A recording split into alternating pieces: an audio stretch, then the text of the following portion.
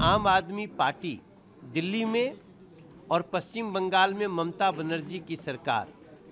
ये दोनों लोगों ने गरीबों का और बुज़ुर्गों का जो ये हक मारा है, उसके लिए हम अपनी पूरी लड़ाई लड़ेंगे। पाँच लाख रुपए का फ्री इलाज एक गरीब को मिलेगा तो घोटाला हो गया।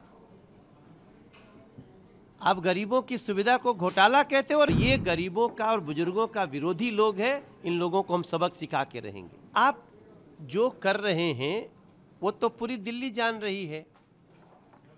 लेकिन अगर किसी गरीब को पाँच लाख रुपए का फ्री इलाज मिल रहा है मोदी सरकार से, पूरे देश में मिल रहा है, आप उसको दिल्ली में क्यों रोक रहे हो अरविंद केजरीवाल?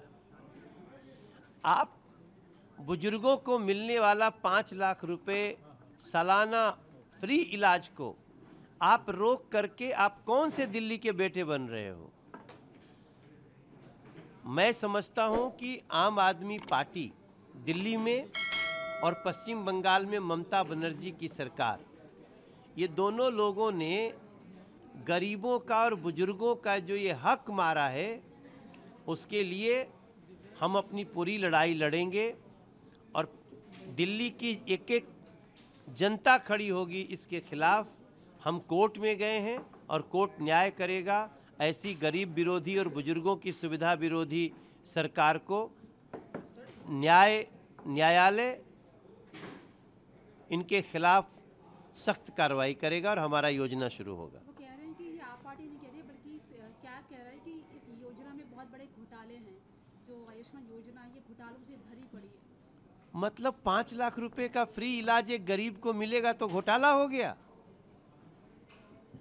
आप गरीबों की सुविधा को घोटाला कहते हो, अरविंद केजरीवाल? आप बुज़ुर्गों को मिलने वाली पाँच लाख रुपए की इलाज को आप घोटाला करते हैं, कहते हैं? और खुद घोटाला करके बैठे हुए मुख्यमंत्री पद से हाथ धो बैठते हैं।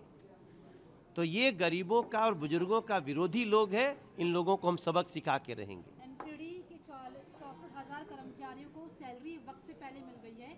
आप पार्टी ने इसी पर पीसी भी की है ये आखिरी महीना है। चुनाव के पहले आखिरी महीना है। तो ये आखिरी महीना में एक महीना के लिए तो कुछ भी करेंगे लोग। लेकिन जो एक महीना हो सकता है, वो पूरे साठ महीना क्यों नहीं हो सकता है?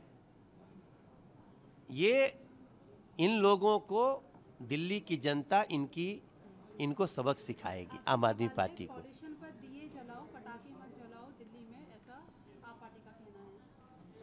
देखो जी पॉल्यूशन से बचने के लिए